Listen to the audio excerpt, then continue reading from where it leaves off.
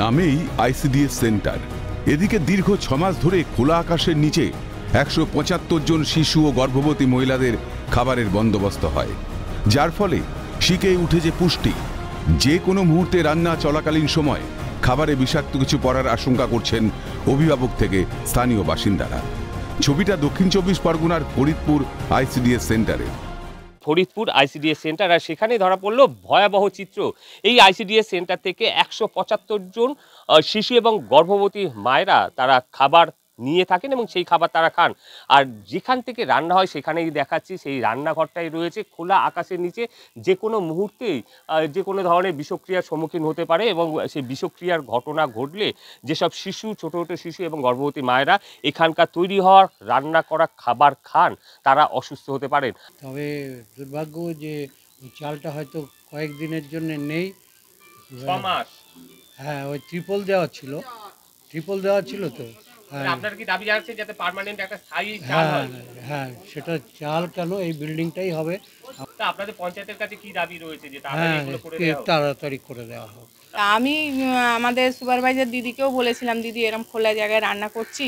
বলছে কি করবে? ওটা একটু পঞ্চায়েত প্রধানকে বা সদস্যকে বলতে। আমি সদস্যকেও বলেছিলাম প্রধানকেও বলেছি। বলছে ঠিক আছে ব্যবস্থা করে দেবো আর আইসিডিএস সেন্টারে ঢোকার মুখে মনে হতেই পারে এটা কোনো শাসক দলের পার্টি অফিস। কারণ এখনও স্কুলের দেওয়ালে জলজল করছে জোড়া ফুলের প্রতীকী চিহ্ন।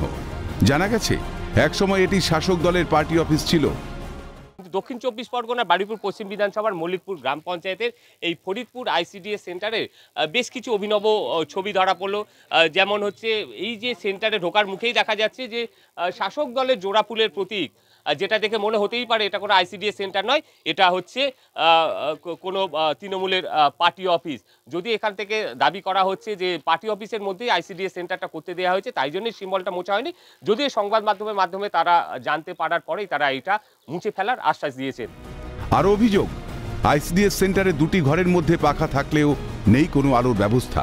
আগামী দিনের সমস্যার সমাধানের আশ্বাস দিয়েই দায় দিয়েছে তৃণমূল নেতৃত্ব। এই রান্নার জায়গাটা বারবার বলছেন ওটা আগামী দিনে আমরা কিছুদিনের মধ্যে যথাশীঘ্র ওটাকে আমরা আবার পুনরায় পুনরায় ফিরে আসতে পারব। চাল করে দেবেন চাল করে দেওয়া হবে মানে পাকাপোক্ত করা হবে। হ্যাঁ দলীয় সিম্বলটা যেটা দেখছেন ঠিক আছে দলীয় সিম্বলটা আমরা কিছুদিনের মধ্যে হয়তো মুছে দেবো অসুবিধা নেই। এই ইলেকশন এসে আমরা প্রিন্টিং করব ওই সময়টা আমরা মুছে দেবো। রাজ্যের বিভিন্ন জায়গায় বিভিন্ন সময় দেখা গেছে আইসিডিএস সেন্টারগুলির বেহাল দশার ছবি। আইসিডিএস সেন্টার ঘিরে অভিযোগের পাহাড় জমেছে। তারপরও যেন টনক নড়েনি প্রশাসনের। এখন এই দুর্দশা কবে ঘুজবে তা নিয়েই উঠছে প্রশ্ন। দক্ষিণ চব্বিশ পরগনা বাড়িপুর থেকে তমাল